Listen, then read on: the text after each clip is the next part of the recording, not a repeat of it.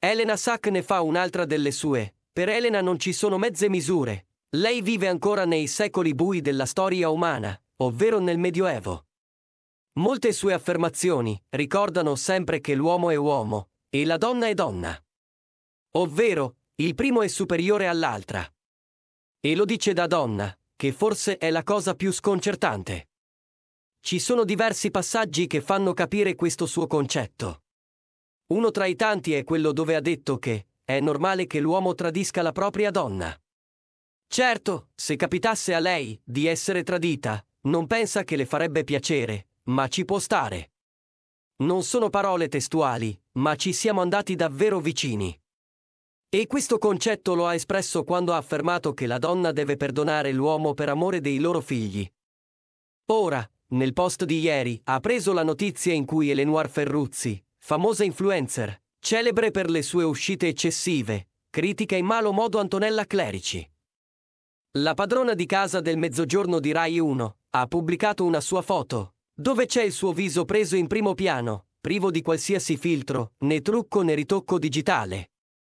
La foto, che potete trovare sul suo profilo Instagram, il cui link lo trovate nell'info box, Mostra un viso di una donna di 59 anni, fiera e sicura, noi le diamo 10 e lode. Ma ovviamente, la Ferruzzi, poteva far finta di niente e rimanere nell'anonimato?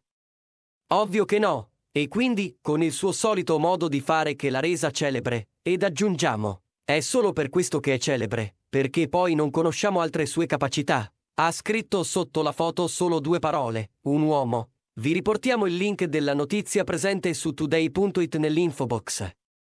E la Elena Sack come commenta tutto ciò?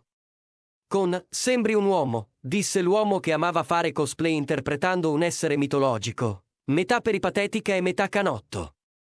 Ora, la Ferruzzi è una donna trans che ha completato la transizione ed è riconosciuta come donna dallo Stato italiano, secondo da quanto lei stessa ha affermato e sempre riportato nell'articolo di today.it. Quindi se lo Stato italiano riconosce la Ferruzzi come donna, chi sei tu Elena per dire che non lo è?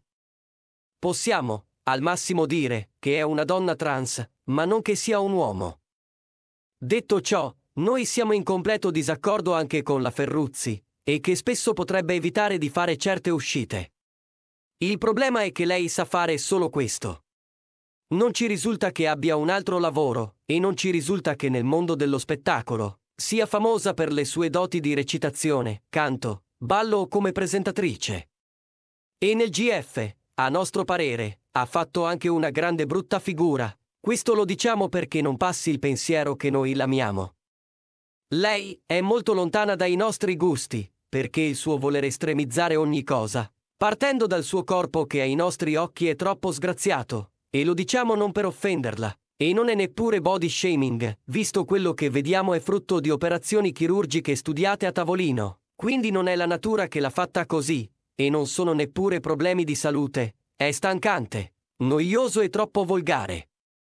Ecco Elena, invece di rimarcare che è un uomo travestito, cosa errata, magari potevi criticarla solo sulle labbra. Potevi addirittura parlare delle sue unghie.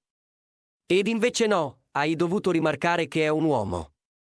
Ecco Elena, invece di rimarcare che è un uomo travestito, cosa errata. Magari potevi criticarla solo sulle labbra. Potevi addirittura parlare delle sue unghie. Ed invece no, hai dovuto rimarcare che è un uomo. Ed infatti, Patti ha scritto prontamente frasi del tipo Elena fa della transfobia, e che lo fa spesso. Beh, per quanto non siamo fans di Patti, Iniziamo a credere anche noi che Elena abbia qualche problema con le persone che non si sentono uomini o donne, eppure è stata amica di Patti. Forse la sua intenzione era quella di riportarla sulla giusta via?